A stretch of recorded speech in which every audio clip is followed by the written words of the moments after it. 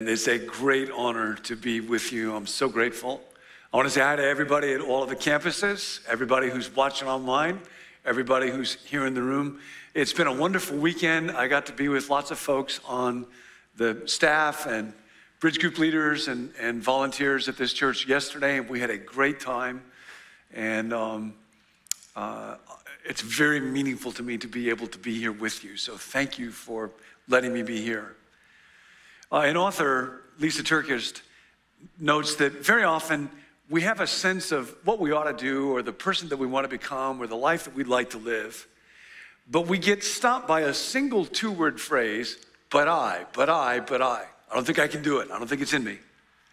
I ought to work out and get in shape. I know I should, but I'm tired. It would be great to get into a bridge group and form deep, meaningful, authentic relationships, but I'm kind of introverted. I would love to live relaxed and confident, but I tend to worry too much. I know I ought to eat kale and quinoa and tofu, but I love sugar and butter and bacon and barbecue. Uh, sometimes those two words get me out of something that uh, I really don't want to do. Honey, would you change the light bulb? But I'm just not very mechanical. But I is what we might call a defeater belief. It stops me not just from succeeding at uh, what really matters, it stops me from even trying. I'll never even know because I just excuse myself, but I can't do it. And then to make things worse, sometimes I find out I'm not even competent in areas where I didn't know I wasn't competent. When I moved to San Francisco, uh, there was a guy named Ned Colletti with the San Francisco Giants baseball team, and uh, he was involved at the church where I was, so he asked one time if I would speak at a chapel for the team, and I said, sure. And then he said, Would you like to take batting practice at the Giants ballpark? I thought, Well, that would be fabulous. So he asked John Yandle, John Yandle used to throw batting practice for Barry Bonds, if he would throw me some pitches. John was a couple years older than me, so this was not like facing real big league pitching. I played sandlot baseball in the neighborhood when I was growing up, and so I thought I could do this. I get to stand in this batter's box at AT&T Park. It was so cool.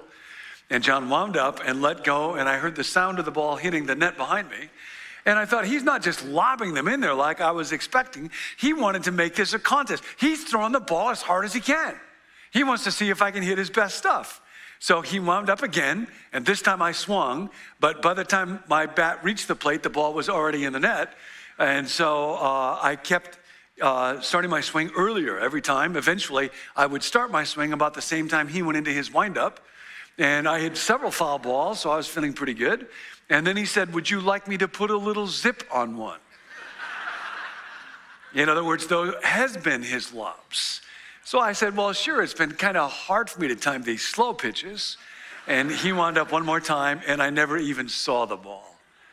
And so I asked him, like, was that your best pitch? He said, no, you wouldn't even want to see my best pitch. Good T-ball player could crunch it though. And he sent a scouting report to Ned Colletti. John Ortberg bats right, throws right, took 10 minutes of batting practice. As a hitter, John makes a good pitcher, pastor. but I sucketh at baseball and did not even know. That little phrase, but I, very human, we all live with that actually comes up in the Bible over and over again, uh, usually as kind of an excuse when God calls somebody to do something. God says to Moses, I want you to go and confront Pharaoh. Moses says, But I am slow of speech and slow of tongue. God comes to Gideon and says, Gideon, I want you to deliver my people from the Midianites. And Gideon immediately says, But I am the least of my family. God comes to Jeremiah and wants him to bring his word to his people. Jeremiah, be a prophet for me. But I do not know how to speak. I'm only a child. God wants Esther to go and deliver the people from this homicidal maniac. But I have not been called by the king for 30 days. God wants Abraham to become the father of a great people, but I'm too old. Jesus wants Peter to cast his nets on the other side of the boat, but I tried all night. Over and over and over again, we see these words in the Bible and we see them in our own lives. I woke up this morning, um, looked in the mirror. I don't know if you can tell on the video screen.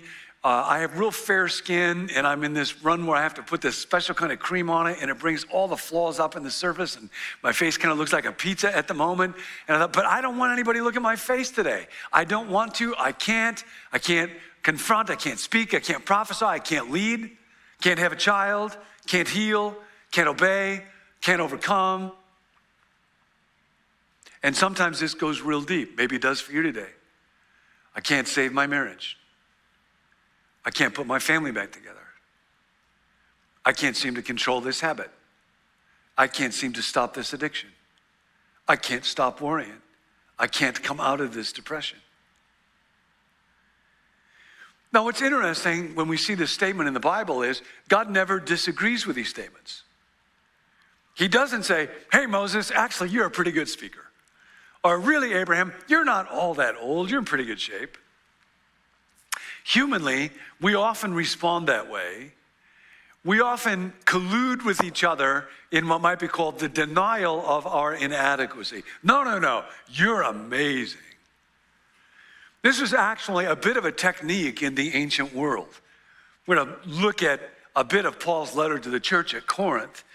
And Corinth in the ancient world was a very competitive culture. It was a Roman colony. It was the center for a lot of trade and commerce because it was on that trade route. Economically, a lot going on there. So there was lots of pressure. They had a saying in Corinth, only the tough survive. And so in this great city, there's this little band of ragtag followers of Jesus. A lot of them were slaves most of them would have ranked pretty low on the adequacy scale. And there was actually ancient advice that said to speakers or to writers who were trying to gain credibility with their audience, one great way to do it is be sure to throw in some praise for them. Tell them how intelligent they are. Remind them they're influential or powerful or well educated or well born Okay, that's what communicators are supposed to do to gain entree. With that as a backdrop, imagine how the Corinthians felt in that little church when they read Paul's description of them at the beginning of his letter. Brothers and sisters, think of what you were when you were called. Not many of you were wise by human standards. Not many were influential. Not many were of noble birth. Thanks a lot, Paul. He doesn't start out, hey, Corinth, you got IQ, you got EQ, you got connections, you got resources. How lucky God was to have you sign up. You're killing it, Corinth. He actually invites them to reflect on what we might call the review of personal inadequacy, even the celebration of personal inadequacy. Hey, Church at Corinth, how should we describe you? Wise? Nope. Influential? Nope. Great gene pool? Nope. But he's remarkably untroubled by this. The, the, implication is quite strange to us.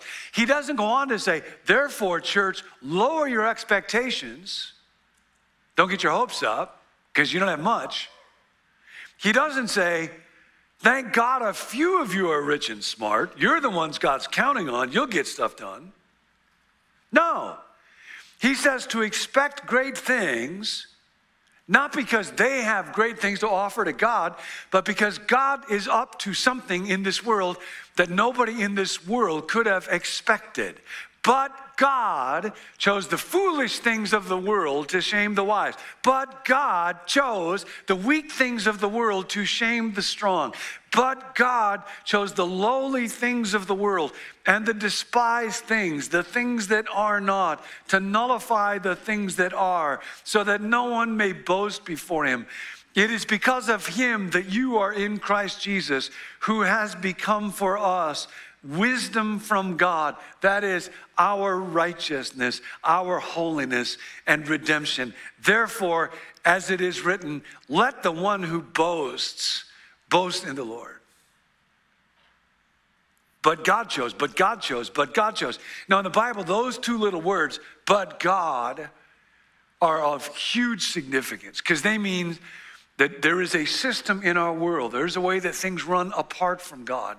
And it's the rich and the smart and the strong that tend to do well, and injustice and oppression and problem and sin and getting trapped in our inadequacy overcomes all of us. There's kind of a trajectory, but now it has been interrupted.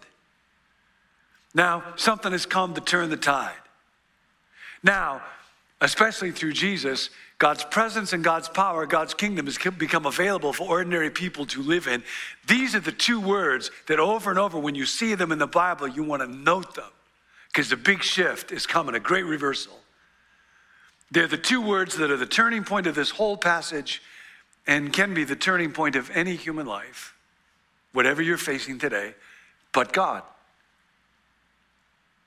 But God is now doing in Corinth what he's already done on the cross with Jesus, overturning expectations, elevating the lowly, changing death into life, taking what the world regards as abject failure, humiliation, the end of the ministry of that rabbi, and turning it into glorious victory and resurrection. So, if you carry nothing else away from this message, I want us all to carry away those two words, but God. So let's say them together out loud but God. Let's try it once more with great passion and conviction and energy and joy. But God. But God means this world does not get the last word on who you can be or what you can do or how you will live. I can't, but God can.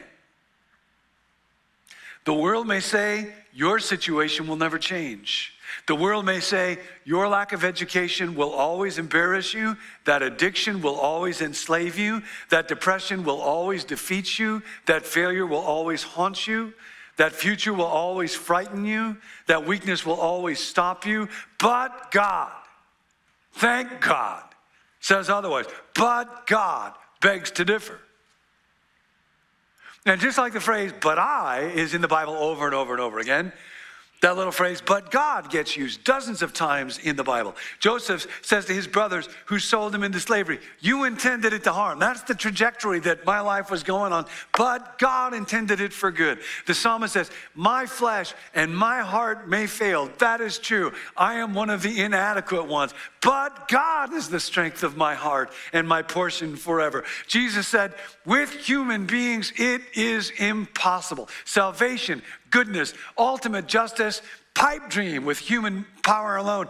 But with God, all things are possible. So stop excusing yourself from God's calling on your life by whining about your inadequacy. But I, but I, but I, but I. I know this sounds odd, but I just don't know how else to say it. God is bigger than your butt. One T. Of course, you're not smart enough. Of course, you're not strong enough. Of course, we are not good enough.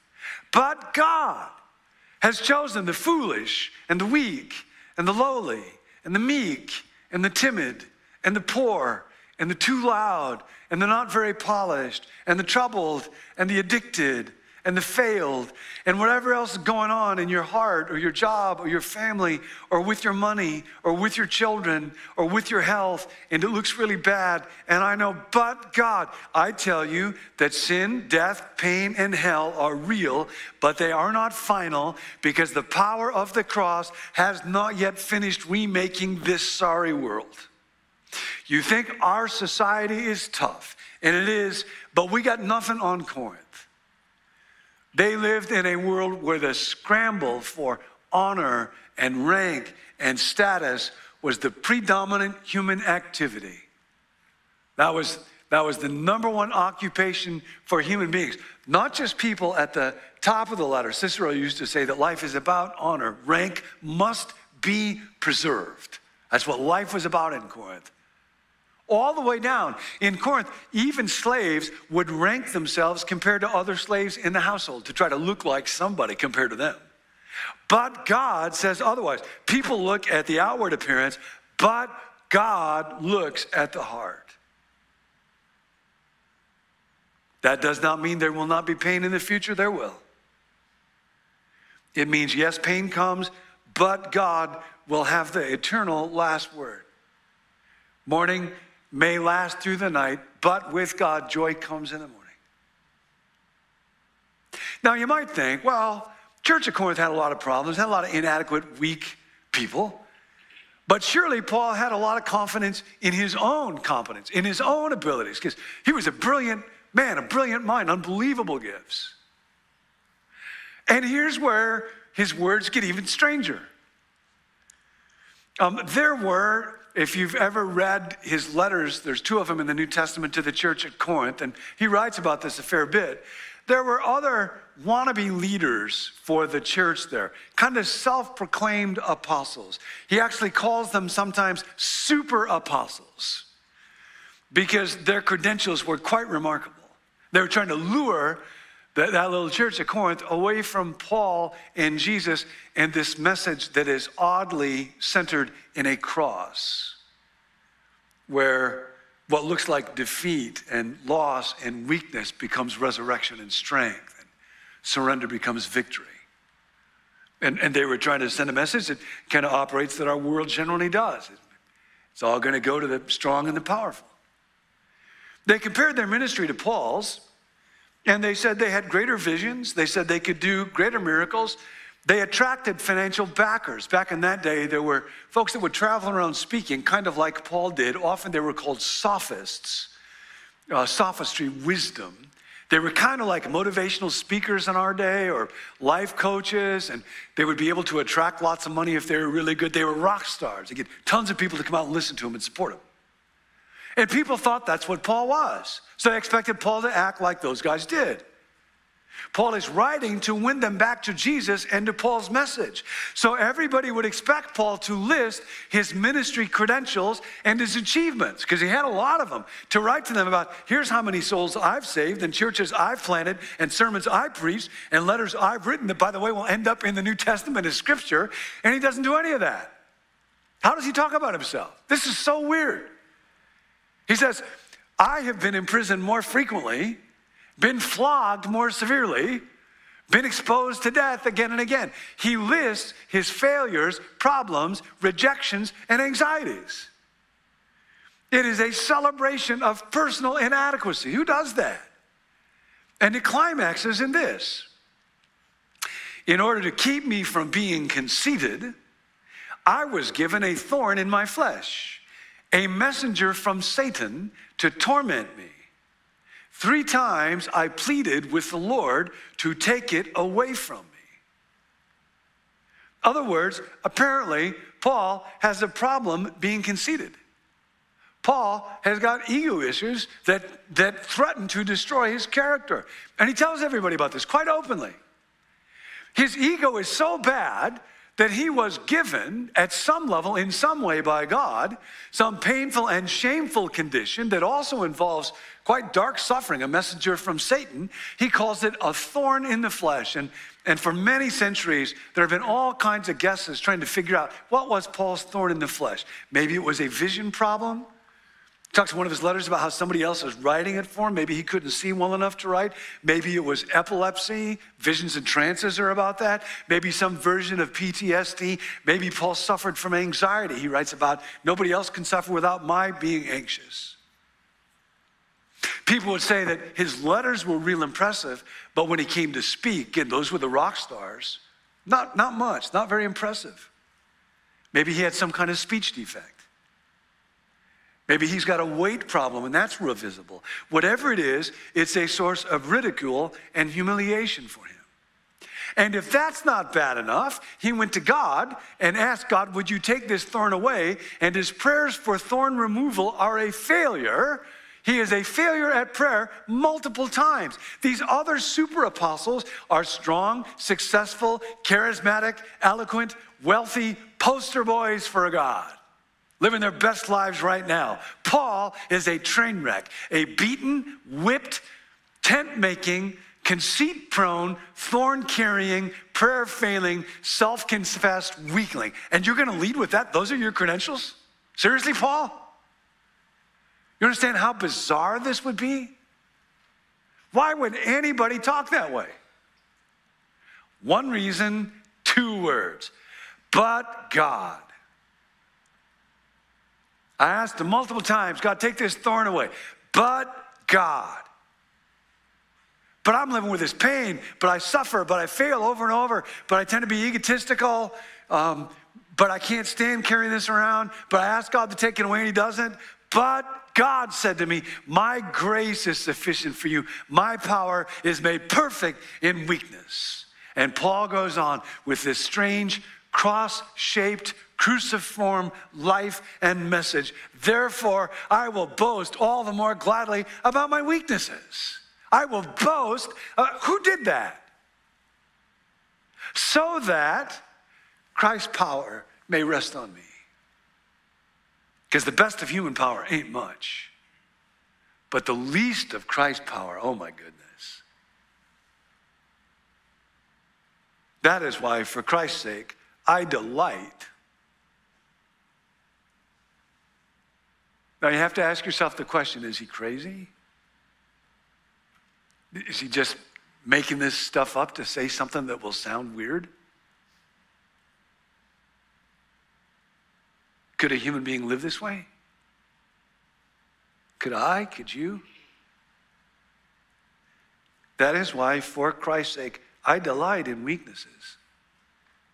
I delight in insults. You ever delighted in an insult? I delight in hardships. I delight in persecutions. I delight in difficulties. Not because weakness or insults or hardships or difficulties are good. Of course they're not, they're awful. Because when I'm weak, I'm strong. I've entered into another reality, another sphere of life where now God is doing in me, through me, what I could never do.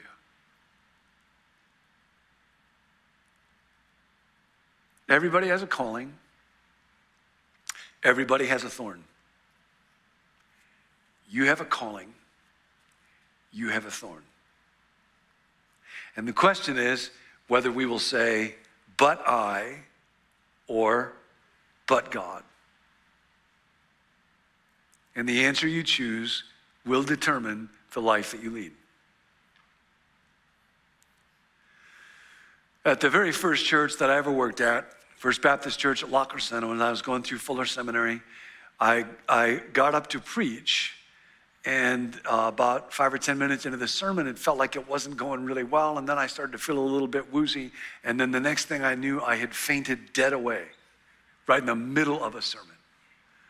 And there was a lot going on. I was going through finals in grad school. I was about to get married. My wife and I left to spend a year overseas studying. And so I thought, well, it just must have been all of that. We came back. I continued to go to Fuller, continued to work at the church. The very next time I got up to preach one year later, I fainted dead away again. And the worst part of it was this was a Baptist church, not a charismatic church where you get credit for doing that kind of thing. And my boss, John F. Anderson, said to me, You're going to get up and preach again next week. And I said, But I don't want to. But I might faint again. Fainting when you preach is a bad quality in a preacher. It makes people kind of nervous when, when that's going on. That passage about the thorn in the flesh, God, take it away. I'll live that. That was my passage. I asked God to take away that thorn of my fear and my anxiety, and He didn't. John, you're going to get up and preach, but I'm afraid, but I feel weak, but I think it's going to happen again. And God did not take my weakness away. God did not take the fear away. God did not give me any guarantee that it wouldn't happen again. For some time after that, no kidding, I would preach and I had a chair sitting right next to me so that if I started to get that feeling again, I could just sit down. For, for a period of months after that, people paid more attention to me than I have ever had happen ever since then. God didn't take away the fear, didn't take weakness, didn't take away the guarantee, but God, as of this week, has kept me upright while preaching for 39 years in a row. Some people, some people are naturally confident when it comes to dating and asking people out and taking romantic risks. I was not. I was in my mid 20s. I'd had lots of first dates, a few second dates, a couple of third dates, but never really a girlfriend.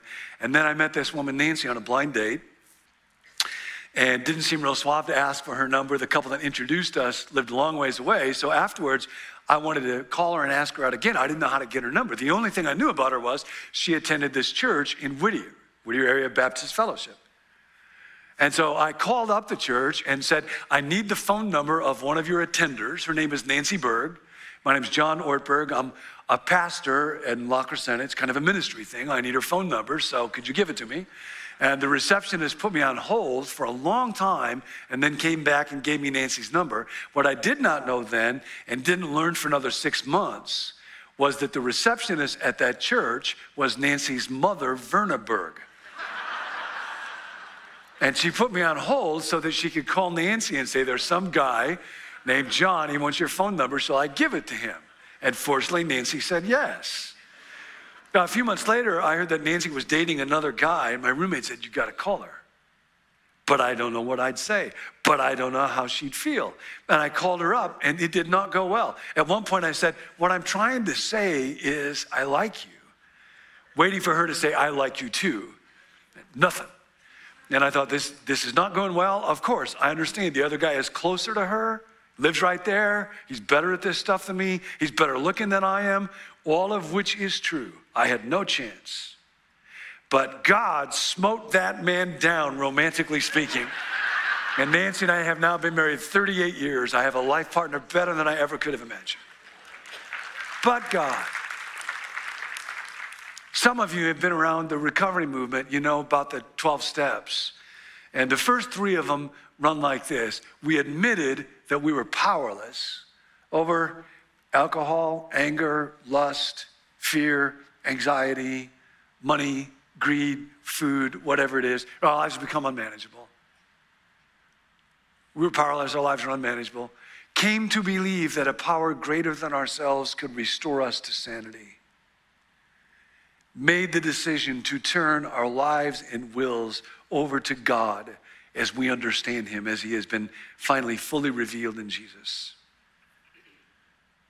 And that sometimes gets summarized in this way I can't, God can, I think I'll let Him. I can't, but I. God can, but God. And then here's the choice point, and here's really why I have come to Charlotte. Here's what I want to offer you the opportunity to make a decision around. I think I'll let him. I can't, God can. Think I'll let him. So I will let go of my life, my past with its regrets and sin and guilt and shame. I will receive forgiveness by grace through what Jesus did on that cross. My agenda my need to try to be in control of what I'm not in control of, my demand to have my own way, my own little project of my life. I will let go of that. I will surrender my life and my will to God, become a follower of Jesus. Have you done that? There's a writer and a priest by the name of Henri Nouwen who I love, touched many, many people someone with deep wounds and, and who knew how to meet Jesus in the pain of inadequacy. He became fascinated in the final years of his life, of all things, with a group of trapeze artists known as the Flying Rodleighs. And there was something about them and their physical grace and beauty and courage and the way they would leap through the air. And Henri Nouwen, this physically quite awkward little priest, uh, was kind of enamored. Uh, it, was, it was like what they did was a parable for life with God. So, in the last year of his life, he literally followed them around and watched their performance and got to know them. Here's what he writes One day I was sitting with Rodleigh, the leader of the troupe, talking about flying, you know, jumping around in the trapeze. He said, As a flyer, I must have complete trust in my catcher. The public might think that I'm the great star of the trapeze, because the flyer's the one that's flying through the air. But the real star, the real star is Joe, my catcher. He has to be there for me with split second precision and grab me out of the air as I come to him in the long jump. How does it work? Nouwen asked. The secret, Rodleigh said, is that the flyer does nothing and the catcher does everything. When I fly to Joe, I have simply to stretch out my arms and hands and wait for him to catch me and pull me safely over the apron behind the catch bar. You do nothing? Nouwen as surprised. Nothing, Rodleigh said. The worst thing the flyer can do is to try to catch the catcher. I'm not supposed to catch Joe. It's Joe's job to catch me. If I grab Joe's wrist, I might break them, or he might break mine, and that would be the end for both of us. A flyer must fly, and the catcher must catch, and the flyer must trust with outstretched arms that his catcher will be there for him. Flyer must fly, catcher must catch. I can't, he can. My part is to trust, to surrender, to give up my life, give up my agenda, give up my demands, give up having to have my way. God's part is to catch, and He can, and to hold, and He will. And so, this invitation from Scripture surrender your heart to God. Stretch out your hands to Him. Actually, after reading that story, I went to what's called circus school in San Francisco and actually went on a trapeze and went flying to somebody.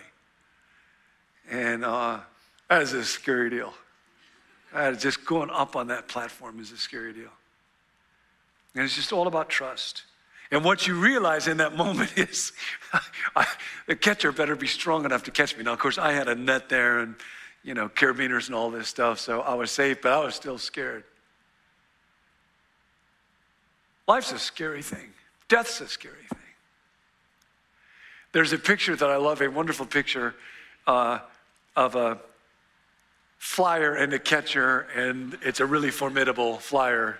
Uh, and that just says something to me about trust and how we all depend on the catcher. I can't. God can. I think I'll let him. Now, letting go is an act of the will. We all know how to grab. Little baby, put your finger out, and little baby's hand will wrap around it. We're born knowing how to grab. We have to learn how to let go. That's a lifetime deal. You are going to learn over the next several weeks. This weekend's the beginning of a series for Forest Hill Church. What do I need to let go of in this last season that we have run through? Habits that we've picked up, fears that we've experienced. What do I need to let go of? Because that's the problem with our wills is an ongoing deal. I, I turn my life and will over to God and then I take them back. I keep turning it over and taking it back. I get afraid, I get worried, I get anxious, I get upset, I get greedy, I keep turning it over. So, this is the beginning of a series to learn what do we need to let go of? Where do we need to get caught? But this day is about the most foundational letting go. I surrender my life, my need to be in control. I will obey Jesus and follow him. And this is the strange thing. When we do that, we're given a power way beyond our own ability. A lot of you will know in AA, like when you get to that third step, the third step is not, I decided I'm going to quit drinking by my willpower. In fact, in none of the steps do you decide to quit drinking. It's not a willpower deal. I surrender my life and my will to God. And then I'm given the power to do what I cannot do on my own. And it's a strange thing.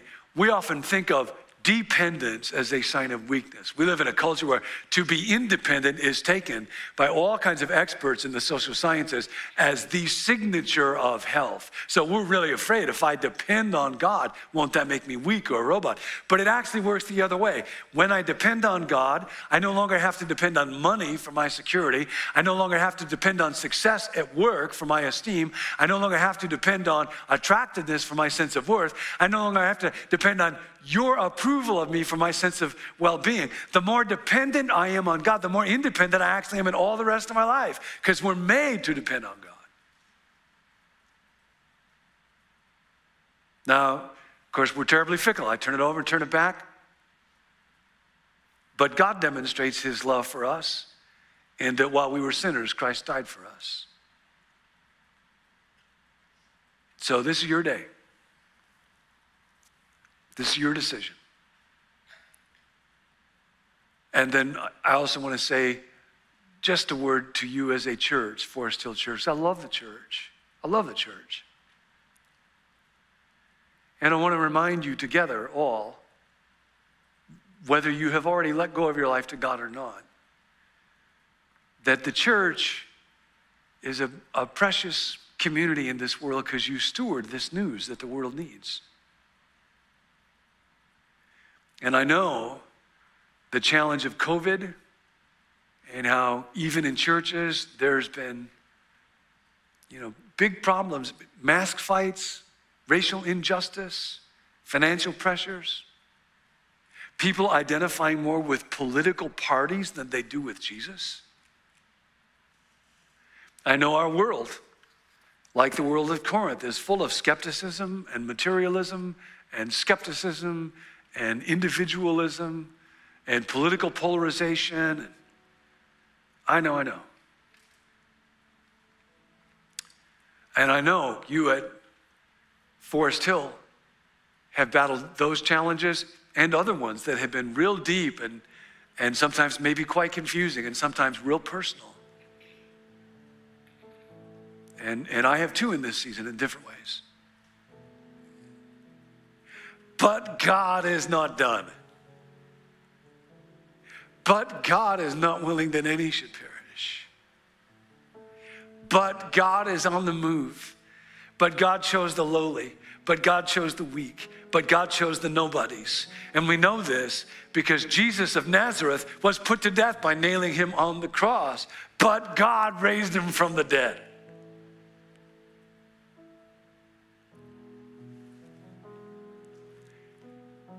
But God raised him from the dead freeing him from the agony of death. Because it was impossible for death to keep its hold on him. But God, see, on a bloodstained cross and an empty tomb, but God. And death can't keep its hold on you either. So you all keep praying and serving and loving living, suffering, comforting, dreaming. And as you do this, as you pray and serve and give, volunteer and invite and befriend, when your heart gets broken and your greatest dream dies, you ask God to redeem the suffering, bring something new and good out of it. You become part of this unseen spiritual hinge on which the doors of history turn. But God, but God, but God. So this week, take those two words with you. But God, I can't, God can. Think I'll let him. Don't you give up. Whatever hurt or heartbreak you're facing, when you feel inadequate, when you feel unspiritual, when you feel lonely, when you feel afraid, when you're not smart enough or rich enough or strong enough, doesn't matter, doesn't matter. But God, but God, but God. Would you pray with me? Bow your heads right now.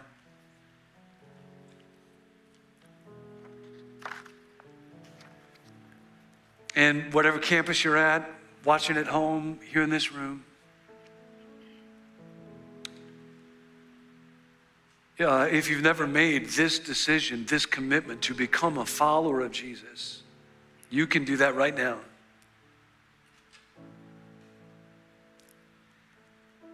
You just let it go. God, now I'm letting go of my sin, past guilt, regret, receiving your forgiveness. It's a free gift of grace. I'm letting go of my future, my fears and my demands and my ego. I will live as a student, as a disciple, as an apprentice of this Jesus from this day forward.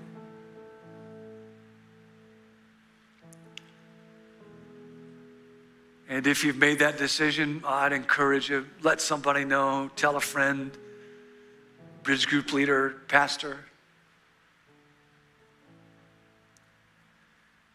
God, I pray that you would pour out great blessings on everybody listening to these words, especially to those with a broken heart or a broken dream.